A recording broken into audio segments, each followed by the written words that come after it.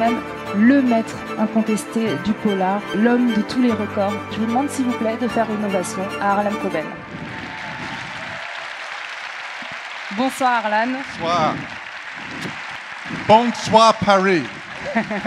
I always wanted to say that. Tout d'abord, nous avons une surprise pour vous. Merci d'accueillir Cocoon.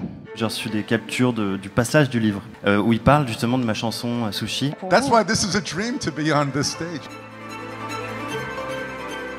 Je vous demande s'il vous plaît d'accueillir chaleureusement Hildour. When you're listening to music, you have so much space to make your own world. Luther était torse nu.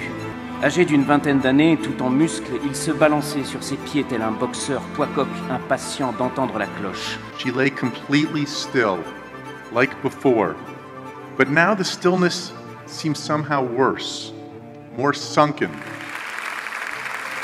There was a wonderful line of people outside before here, and those faces inspire me. I want to do my best for you. I don't want to disappoint you. Merci Harlan, bravo, merci à tous d'être venus. À bientôt.